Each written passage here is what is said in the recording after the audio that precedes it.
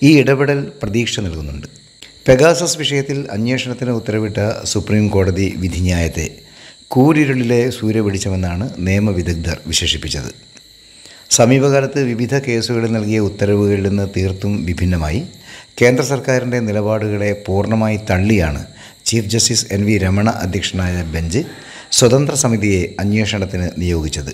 Not നിരോധനം Babri Masjid case P M care fund പൗരത്വ നിയമ ഭേദഗതി അശാസ്ത്രീയ ലോക്ക്ഡൗൺ തുടങ്ങി രാജ്യം ഉറ്റുനോക്കിയ നിരവധി വിഷയങ്ങളിൽ കേന്ദ്ര സർക്കാരിന്റെ താൽപ്പര്യങ്ങളോട് ചേർന്ന് നിൽക്കുന്ന സമീപനമായിരുന്നു സുപ്രീം കോടതിയുടേത്.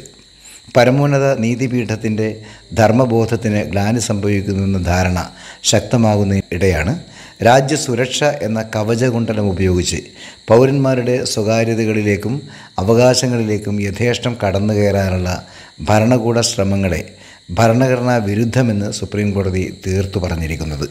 പെഗാസസ് എന്ന ഇസ്രായേലി ചാര സംവിധാനം ഉപയോഗിച്ച് മോദി സർക്കാരിന് അഹിതകാരികളായ വ്യക്തികളുടെ സ്വകാര്യതയിൽ നുഴഞ്ഞു കയറുകയും അന്യായമായി നിയമക്കുരുക്കിൽപ്പെടുത്താൻ ഉപയോഗിക്കുകയും ചെയ്തുവെന്ന് വെളിപ്പെടുത്തിയത് ആഗോള അന്വേഷണാത്മക മാധ്യമ കൂട്ടായ്മയായ ഫോർബിഡൻ സ്റ്റോറീസിന്റെ റിപ്പോർട്ടുകളാണ്.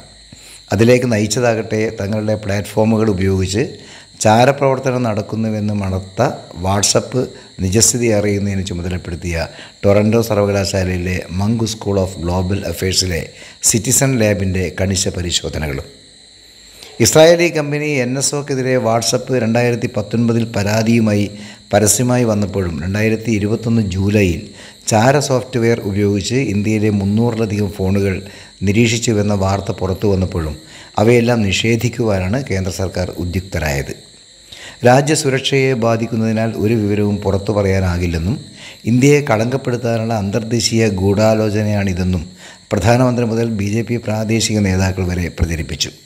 സംയുക്ത പാർലമെന്റ് സമിതി അന്വേഷിക്കണമെന്ന പ്രതിപക്ഷ ആവശ്യത്തെ നിഷ്കരണം തള്ളുകയും അധിക ചർച്ചയില്ലാതിരിക്കാൻ രണ്ട് ദിവസം നേരത്തെ ശീതകാല സഭ പിരിയുകയും ചെയ്തു. അധികാരത്തിന്റെ അഹന്ത കൊണ്ട് പാർലമെന്റിൽ ചവിട്ടിയിറക്കപ്പെട്ട സ്വതന്ത്ര അന്വേഷണമെന്ന ആവശ്യമാണ് സുപ്രീം കോടതിയുടെ വിധിന്യായത്തിലൂടെ ഇനി നടക്കാൻ പോകുന്നത്. രാജ്യസുരക്ഷയുടെ മറവിൽ റാഫേൽ അഴിമതി ആരോപണത്തിൽ നിന്ന് രക്ഷപ്പെട്ടതുപോലെ ഈ കേസും മറികടക്കാൻ കഴിയുമെന്ന കേന്ദ്ര സർക്കാരിന്റെ കീഴടക്ക ബോധ്യത്തെയാണ് ചീഫ് ജസ്റ്റിസിന്റെ ബെഞ്ച് കീഴ്മേൽ മറിച്ചത്. അതുകൊണ്ടുകൂടിയാണ് നിയമവിദഗ്ധർ രജതരേഖയെന്ന് ഈ ഉത്തരവിനെ വിശേഷിപ്പിക്കുന്നത്. സമകാലിക ഇന്ത്യയിൽ ഉജ്ജ്വലം എന്ന് പറയേണ്ട ധാരാളം പ്രസ്താവനകളടങ്ങിയതാണ് പരമോന്നത കോടതിയുടെ വിധിന്യായം.